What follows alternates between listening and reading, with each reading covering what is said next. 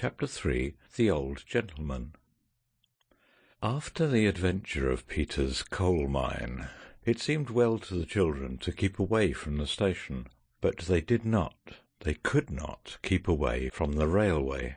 They had lived all their lives in a street where cabs and omnibuses rumbled by at all hours, and the carts of butchers and bakers and candlestick makers I never saw a candlestick maker's cart, did you? might occur at any moment.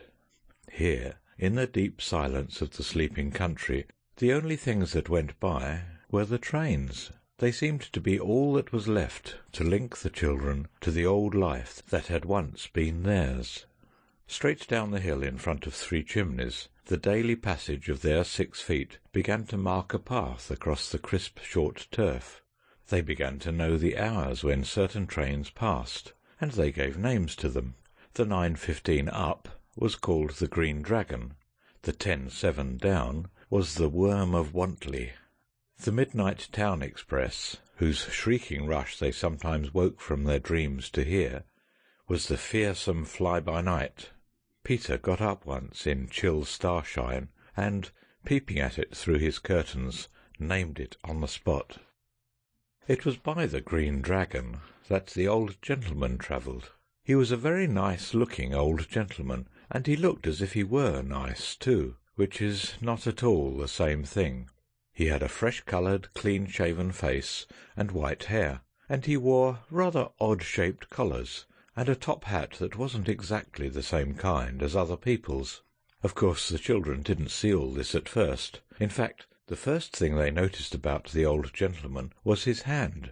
It was one morning, as they sat on the fence waiting for the Green Dragon, which was three and a quarter minutes late by Peter's Waterbury watch, that he had had given him on his last birthday. The Green Dragon's going where father is, said Phyllis. If it were a really real dragon, we could stop it and ask it to take our love to father. Dragons don't carry people's love, said Peter. They'd be above it. Yes, they do, if you tame them thoroughly first. They fetch and carry like pet spaniels, said Phyllis. And feed out of your hand. I wonder why father never writes to us. Mother says he's been too busy, said Bobby. But he'll write soon, she says. I say, Phyllis suggested. Let's all wave to the green dragon as it goes by. If it's a magic dragon, it'll understand and take our loves to father. And if it isn't, three waves aren't much. We shall never miss them. So when the green dragon tore shrieking out of the mouth of its dark lair, which was the tunnel, all three children stood on the railing and waved their pocket handkerchiefs, without stopping to think whether they were clean handkerchiefs or the reverse. They were, as a matter of fact, very much the reverse. And out of a first-class carriage a hand waved back, a quite clean hand. It held a newspaper. It was the old gentleman's hand. After this it became the custom for waves to be exchanged between the children and the 9.15. And the children, especially the girls, liked to think that perhaps the old gentleman knew father, and would meet him. In business wherever that shady retreat might be, and tell him how his three children stood on a rail far away in the green country and waved their love to him every morning, wet or fine. For they were now able to go out in all sorts of weather, such as they would never have been allowed to go out in when they lived in their villa house. This was Aunt Emma's doing, and the children felt more and more that they had not been quite fair to this unattractive aunt when they found how useful were the long gaiters and waterproof coats that they had laughed at her for buying for them. Mother all this time was very busy with her writing. She used to send off a good many long blue envelopes with stories in them, and large envelopes of different sizes and colours used to come to her. Sometimes she would sigh when she opened them and say, Ah. Another story come home to roost. Oh dear. Oh dear. And then the children would be very sorry. But sometimes she would wave the envelope in the air and say, Hooray! Hooray! Here's a sensible editor. He's taken my story, and this is the proof of it. At first the children thought the proof meant the letter the sensible editor had written, but they presently got to know that the proof was long slips of paper with the story printed on them. Whenever an editor was sensible, there were buns for tea. One day Peter was going down to the village to get buns to celebrate the sensibleness of the editor of the Children's Globe, when he met the station master. Peter felt very uncomfortable, for he had now had time to think over the affair of the coal mine. He did not like to say Good morning. To the station master as you usually do to anyone you meet on a lonely road, because he had a hot feeling which spread even to his ears that the station master might not care to speak to a person who had stolen coals. Stolen is a nasty word, but Peter felt it was the right one, so he looked down and said nothing. It was the station master who said Good morning. as he passed by, and Peter answered. Good morning. Then he thought, Perhaps he doesn't know who I am by daylight, or he wouldn't be so polite. and he did not like the feeling which thinking this gave him. And then, before he knew what he was going to do, he ran after the station master, who stopped when he heard Peter's hasty boots crunching the road, and coming up with him, very breathless and with his ears now quite magenta coloured, he said, I don't want you to be polite to me if you don't know me when you see me. Eh? said the station master. I thought perhaps you didn't know it was me that took the coals Peter went on. when you said good morning, but it was, and I'm sorry. There. Why, said the station master. I wasn't thinking anything at all about the precious coals. Let bygones be bygones. And where were you off to in such a hurry? I'm going to buy buns for tea. said Peter, Oh, I thought you were all so poor. said the station master, So we are. said Peter confidentially. But we always have three penny worth of halfpennies for tea whenever mother sells a story or poem or anything. Huh. said the station master. So your mother writes stories, does she? The beautifulest you ever read. said Peter. You ought to be very proud to have such a clever mother. Yes, said Peter. But she used to play with us more before she had to be so clever. Well, said the station master. I must be getting along. You give us a looking at the station whenever you feel so inclined. As to the coals, it's a word that, well, oh no, we never mention it, eh? Thank you. said Peter, I'm very glad it's all straightened out between us. and he went on across the canal bridge to the village to get the buns, feeling more comfortable in his mind than he had felt since the hand of the station master had fastened on his collar that night among the coals. Next day, when they had sent the threefold wave of greeting to father by the green dragon, and the old gentleman had waved back as usual, Peter proudly led the way to the station. But ought we? Said Bobby. After the coals, she means. Phyllis explained. I met the station master yesterday. said Peter in an off-hand way, and he pretended not to hear what Phyllis had said. and he express specially invited us to go down any time we liked. After the coals? Repeated Phyllis. Stop a minute. My bootlace is undone again. It always is undone again. said Peter. And the station master was more of a gentleman than you'll ever be, Phil, throwing coal at a chap's head like that. Phyllis did up her bootlace and went on in silence, but her shoulders shook, and presently a fat tear fell off her nose and splashed on the metal of the railway line. Bobby saw it. Why, what's the matter, darling? She said, stopping short and putting her arm round the heaving shoulders. He called me un, un, ungentlemanly. Sobbed Phyllis. I didn't ever call him unladylike.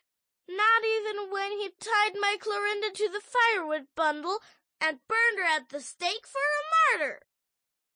Peter had indeed perpetrated this outrage a year or two before, Well, you began, you know, said Bobby honestly. about coals and all that. Don't you think you'd better both unsay everything since the wave, and let Honor be satisfied? I will if Peter will. said Phyllis, sniffling. All right. Said Peter. Honour is satisfied. Here, use my hanky, Phil, for goodness sake, if you've lost yours as usual. I wonder what you do with them. You had my last one said Phyllis indignantly. to tie up the rabbit hutch door with. But you're very ungrateful. It's quite right what it says in the poetry book about sharper than a serpent it is to have a toothless child. But it means ungrateful when it's toothless. Miss Lowe told me so. All right. said Peter impatiently. I'm sorry. There. Now will you come on? They reached the station and spent a joyous two hours with the porter. He was a worthy man and seemed never tired of answering the questions that begin with Why? which many people in higher ranks of life often seem weary of.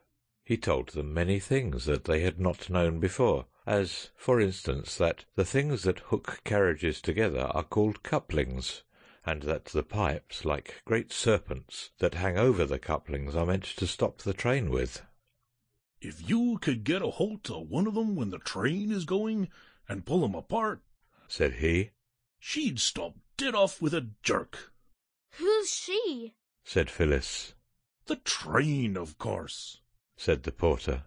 After that, the train was never again it to the children. And you know the thing in the carriages where it says on it, five pounds fine for improper use. If you was to improperly use that, the train would stop. And if you used it properly?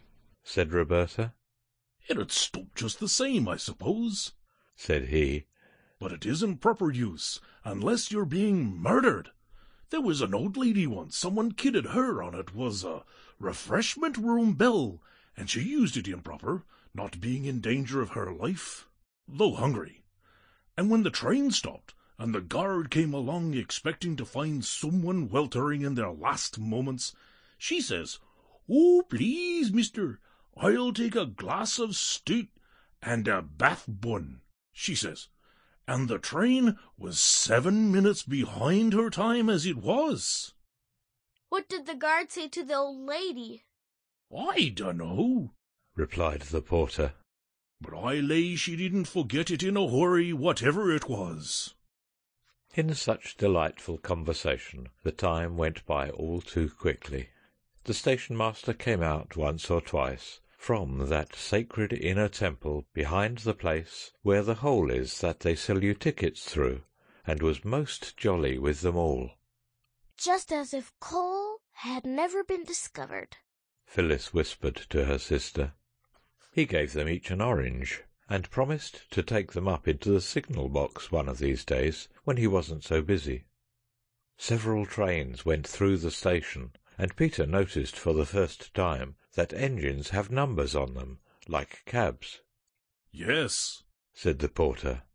I knowed a young gent as used to take down the numbers of every single one he seed, in a green notebook with silver corners it was, owing to his father being very well to do in the wholesale stationery. Peter felt that he could take down numbers too, even if he was not the son of a wholesale stationer. As he did not happen to have a green leather notebook with silver corners, the porter gave him a yellow envelope, and on it he noted 379. 663. and felt that this was the beginning of what would be a most interesting collection. That night at tea he asked Mother if she had a green leather notebook with silver corners. She had not, but when she heard what he wanted it for, she gave him a little black one. It has a few pages torn out, Said she, but it will hold quite a lot of numbers. And when it's full, I'll give you another. I'm so glad you like the railway. Only please, you mustn't walk on the line. Not if we face the way the train's coming? asked Peter, after a gloomy pause in which glances of despair were exchanged. No, really not. Said Mother. Then Phyllis said, Mother, didn't you ever walk on the railway lines when you were little? Mother was an honest and honourable mother, so she had to say, Yes. Well then, said Phyllis. But, darlings, you don't know how fond I am of you. What should I do if you got hurt? are you fonder of us than Granny was of you when you were little? Phyllis asked. Bobby made signs to her to stop, but Phyllis never did see signs, no matter how plain they might be. Mother did not answer for a minute. She got up to put more water in the teapot.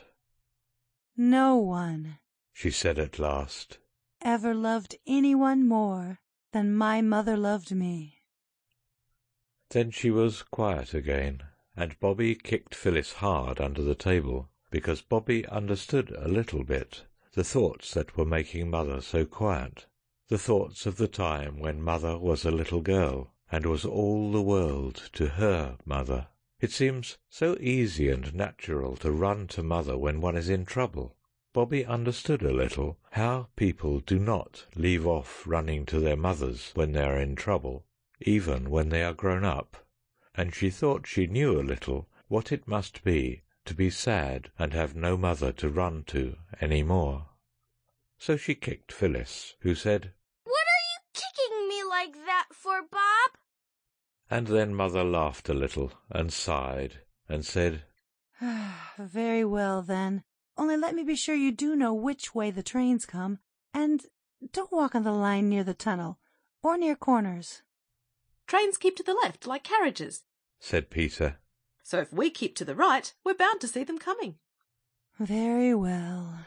said Mother, and I dare say you think that she ought not to have said it, but she remembered about when she was a little girl herself, and she did say it, and neither her own children, nor you, nor any other children in the world could ever understand exactly what it cost her to do it. Only some few of you, like Bobby, may understand a very little bit.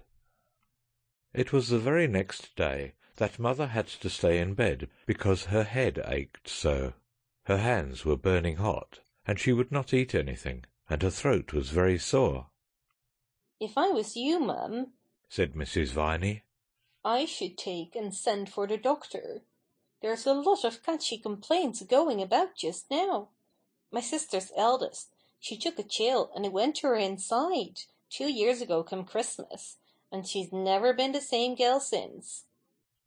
Mother wouldn't at first, but in the evening she felt so much worse that Peter was sent to the house in the village that had three laburnum trees by the gate, and on the gate a brass plate with W. W. Forrest, M.D. on it.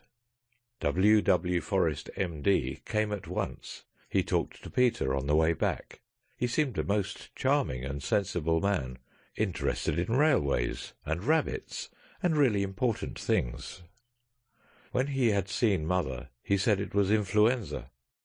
Now, Lady Graveairs, He said in the hall to Bobby, I suppose you'll want to be head nurse. Of course. said she. Well then, I'll send down some medicine. Keep up a good fire. Have some strong beef tea made ready to give her as soon as the fever goes down.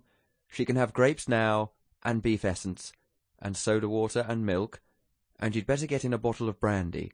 The best brandy. Cheap brandy is worse than poison. She asked him to write it all down, and he did. When Bobby showed Mother the list he had written, Mother laughed. It was a laugh, Bobby decided, though it was rather odd and feeble. Nonsense. said Mother, laying in bed with eyes as bright as beads. I can't afford all that rubbish. Tell Mrs. Viney to boil two pounds of scrag-end of the neck of your dinners tomorrow, and I can have some of the broth. Yes, I should like some more water now, love. And will you get a basin and sponge my hands? Roberta obeyed.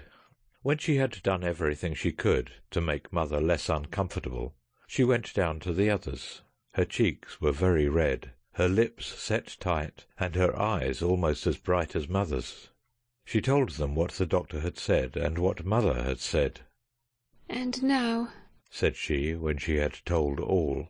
There's no one but us to do anything, and we've got to do it. I've got the shilling for the mutton. We can do without the beastly mutton. Said Peter. Bread and butter will support life. People have lived on less on desert islands many a time. Of course. said his sister, and Mrs. Viney was sent to the village to get as much brandy and soda water and beef tea as she could buy for a shilling. But even if we never have anything to eat at all, said Phyllis. you can't get all those other things with our dinner money. No. said Bobby, frowning. We must find out some other way. Now think, everybody, just as hard as ever you can. They did think, and presently they talked, and later, when Bobby had gone up to sit with Mother, in case she wanted anything, the other two were very busy with scissors and a white sheet and a paint-brush, and the pot of Brunswick black that Mrs. Viney used for grates and fenders. They did not manage to do what they wished exactly with the first sheet, so they took another out of the linen cupboard.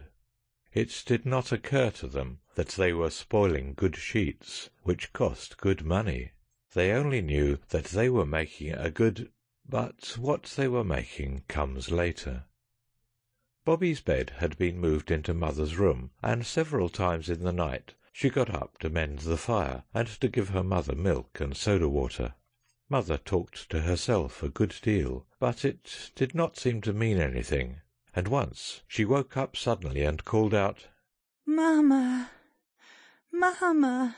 and Bobby knew she was calling for Granny, and that she had forgotten that it was no use calling because Granny was dead. In the early morning Bobby heard her name and jumped out of bed and ran to Mother's bedside.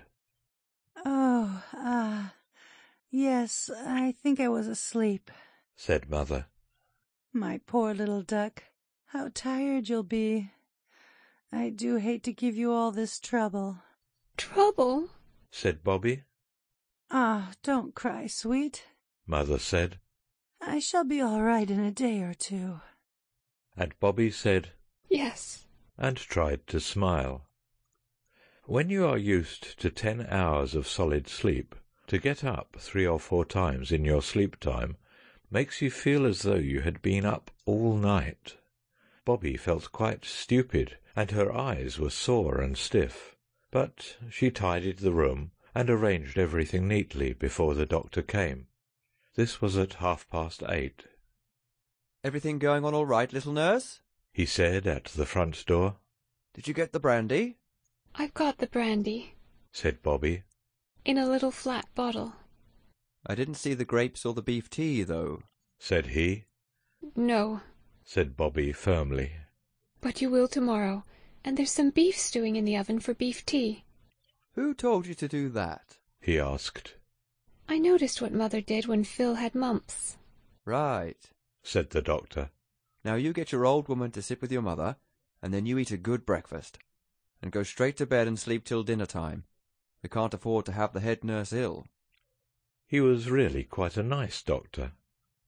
When the 9.15 came out of the tunnel that morning, the old gentleman in the first-class carriage put down his newspaper and got ready to wave his hand to the three children on the fence. But this morning there were not three, there was only one, and that was Peter. Peter was not on the railings either, as usual. He was standing in front of them, in an attitude like that of a showman, showing off the animals in a menagerie, or of the kind clergyman when he points with a wand at the scenes from Palestine when there is a magic lantern and he is explaining it. Peter was pointing too, and what he was pointing at was a large white sheet nailed against the fence. On the sheet there were thick black letters more than a foot long. Some of them had run a little, because of Phyllis having put the Brunswick black on too eagerly, but the words were quite easy to read. And this is what the old gentleman and several other people in the train read in the large black letters on the white sheet. Look out at the station. A good many people did look out at the station and were disappointed, for they saw nothing unusual. The old gentleman looked out too, and at first he too saw nothing more unusual than the gravelled platform and the sunshine and the wallflowers and forget-me-nots in the station borders. It was only just as the train was beginning to puff and pull itself together to start again that he saw Phyllis. She was quite out of breath with running. Oh, She said, I thought I'd missed you. My bootlaces would keep coming down, and I fell over them twice. Here, take it. She thrust a warm, dampish letter into his hand as the train moved. He leaned back in his corner and opened the letter. This is what he read. Dear Mr. We do not know your name. Mother is ill, and the doctor says to give her the things at the end of the letter, but she says she can't afford it, and to get mutton for us, and she will have the broth. We do not know anybody here but you, because father is away, and we do not know the address. Father will pay you, or if he has lost all his money or anything, Peter will pay you when he is a man. We promise it on our honour. I owe you for the things mother wants. Signed, Peter. Will you give the parcel to the station master, because of us not knowing what train you come down by? Say it is for Peter that was sorry about the coals, and he will know all right. Roberta. Phyllis. Peter. Then came the list of things the doctor had ordered. The old gentleman read it through once, and his eyebrows went up. He read it twice, and smiled a little. When he had read it thrice, he put it in his pocket and went on reading the Times. At about six that evening there was a knock at the back door. The three children rushed to open it, and there stood the friendly porter who had told them so many interesting things about railways. He dumped down a big hamper on the kitchen flags. Old gent, He said, he arst me to fetch it up straight away. Thank you very much. said Peter, and then, as the porter lingered, he added, I'm most awfully sorry I haven't got tuppence to give you like father does, but You drop it if you please. said the porter indignantly. I wasn't thinking about no twopences. I only wanted to say I was sorry your mamma wasn't so well, and to ask how she finds herself this evening. And I've fetched her along a bit of sweetbriar. Very sweet to smell it is. Twopence indeed. said he, and produced a bunch of sweet briar from his hat, Just like a conjurer. as Phyllis remarked afterwards, thank you very much. said Peter. And I beg your pardon about the twopence." No offence.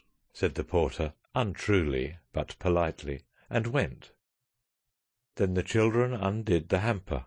First there was straw, and then there were fine shavings, and then came all the things they had asked for, and plenty of them, and then a good many things they had not asked for, among others peaches and port wine, and two chickens, a cardboard box of big red roses with long stalks, and a tall, thin green bottle of lavender water, and three smaller, fatter bottles of eau de cologne. There was a letter, too. Dear Roberta and Phyllis and Peter, It said, here are the things you want. Your mother will want to know where they came from. Tell her they were sent by a friend who heard she was ill. When she is well again, you must tell her all about it, of course. And if she says you ought not to have asked for the things, tell her that I say you were quite right, and that I hope she will forgive me the liberty of allowing myself a very great pleasure. the letter was signed G.P. something that the children couldn't read, I think we were right. said Phyllis, Right? Of course we were right. said Bobby, All the same. said Peter, with his hands in his pockets. I don't exactly look forward to telling mother the whole truth about it. We're not to do it till she's well. said Bobby, And when she's well, we shall be so happy we shan't mind a little fuss like that. Oh, just look at the roses. I must take them up to her. And the sweet briar. said Phyllis, sniffing it loudly, Don't forget the sweet briar. As if I should. said Roberta. Mother told me the other day there was a thick hedge of it at her mother's house when she was a little girl. End of chapter three.